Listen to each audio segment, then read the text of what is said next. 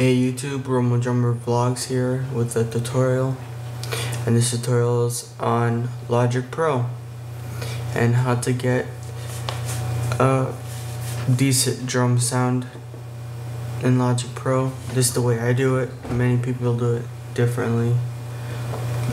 So yeah, let's get started. Open Logic Pro. Okay guys, so we're here in Logic Pro. I opened my project it's just like a, a drum cover I worked on just to give you guys some reference. So let's get started. Name your tracks, of course, before we record. So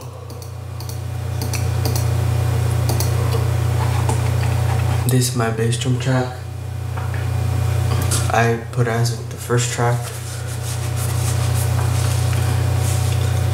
And so, just to give you guys a listen, here's how it sounds. This is just like a rough recording with no effects or anything. See, everything is turned off right here. All the effects are off. Now let's play, see how it sounds.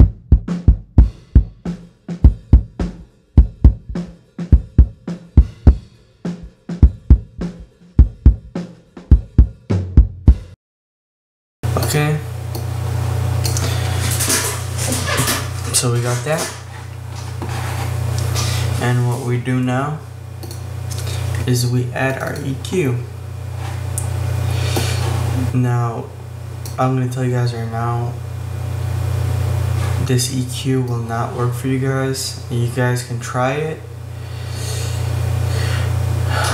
Every drum sounds different with any EQ put on it, so you guys should try a different one. This is just the one I tried. So what I, what I do is I duplicate my bass drum. I make one track, a high pitch. See, I put my highs up on, on the first track. And I put my lows down, the mids kind of down. I put the highs all the way up so I can get like a punchy, kind of punk, punchy rock band kind of sound, I guess. I don't know. So here's the result of that.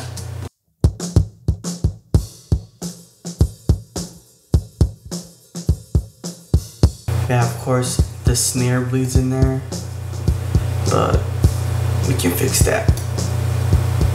Alright, next thing we do is we add our compression. Again, all these presets I show you is different for everybody and anybody. So here are my settings. I put the attack at about 20, something like that. I put the really slow because I don't like I don't want it to stop fast. So put the ratio like about in the middle. Knee keep there. I turn the threshold down and I put the gain up and here's how that sounds.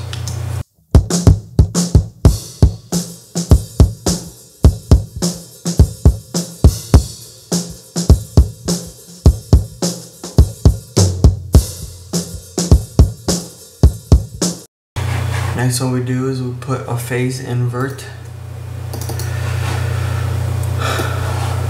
So how we do that is we go, we click on the thing to activate our plugins, we go to utility, gain, mono, and then we don't do anything, just click phase invert. And the reason why we do that is eh, because for the next track we have is our lower pitched bass drum and to make it kind of in the mix, the phase invert kind of mixes it both together, you know, the, the high pitch and the low pitch to sound good. So what we do now, so this is our second bass drum track. What we do is we press this button right here with the plus and it adds another track but with the same plugins as our first. What we do is we hold down option, click the track, then we go down, and then bam, it's already added. But I'm gonna undo this because I already added it. I already added it. I just did that for you guys so you guys know. Alright, so what we do next is we go down to the second track. This is our lower pitched bass drum. And if we look at the EQ, all my low EQ is up, mids are down, highs are down. Well, this is up. And if we listen to this,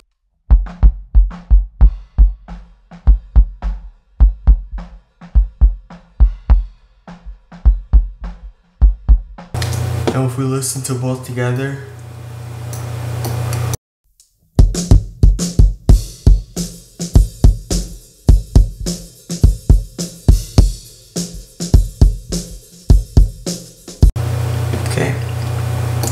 So of course, next is compression.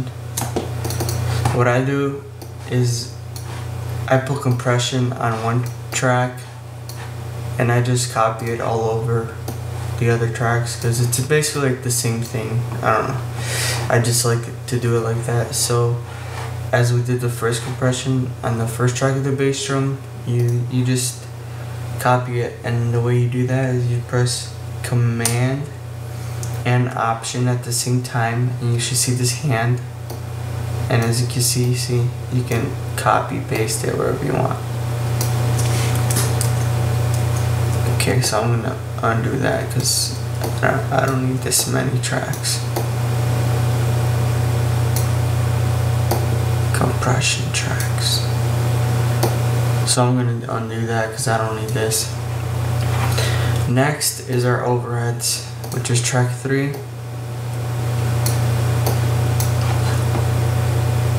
And this is overhead left.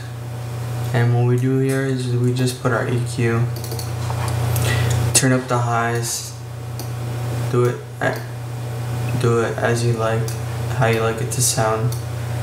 Turn down the lows. And if we take a listen to that, we pan it though.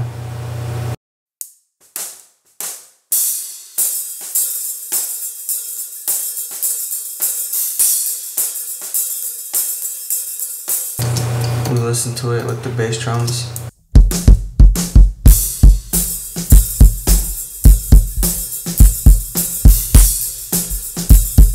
Okay. Next is the right overheads. And basically the same thing, turn up the highs. And if you have a ride here, you want to put up your lows kind of, you know, to get that kind of ride sound, but if you hit the bell a lot, you know. So we pan that, and here's the sound.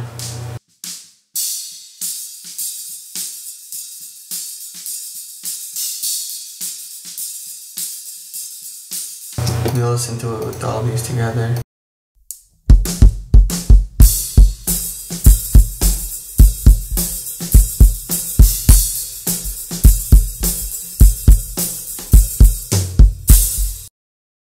Okay, so next is the snare. And what I did with the snare is I made two tracks exactly like with the bass drum I showed you guys before. Alright, so with the EQ on the snare, the first snare is the high snare, is a high EQ snare. So here's how that sounds.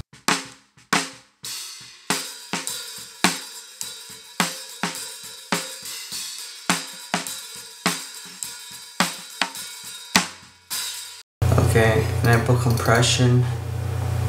I showed you guys how to do that, just copy it all over. Here's how that sounds with compression.